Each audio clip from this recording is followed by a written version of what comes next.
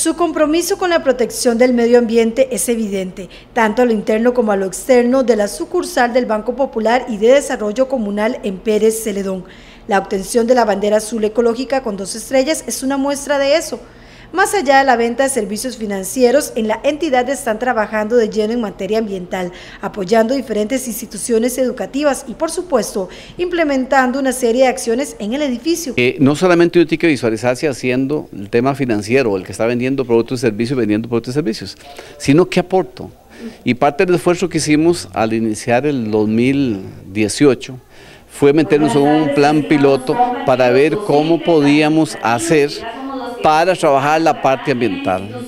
En ese tema ambiental comenzamos a trabajar entonces con lo que era Bandera Azul. Para nosotros ha sido una gran experiencia, una gran experiencia, una gran experiencia, porque obviamente era, era desarrollar todo el tema de manejo de aguas en la oficina, manejo de energía eléctrica, residuos sólidos, manejo de papel, un proceso de educación y gracias a eso obtuvimos la bandera azul con dos estrellas.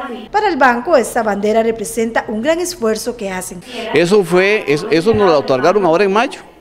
En mayo estamos, si usted pasa hoy por frente del banco, ve una bandera en la parte alta y ubicada. Y ahora hay que sostener año a año. ¿Contentos? Muy contentos, muy comprometidos, muy felices y nos convertimos en un ejemplo para que hoy nuevas oficinas del banco, en este momento 11 más, se hayan integrado al programa. Ahora esperan seguir trabajando para mantener esta bandera.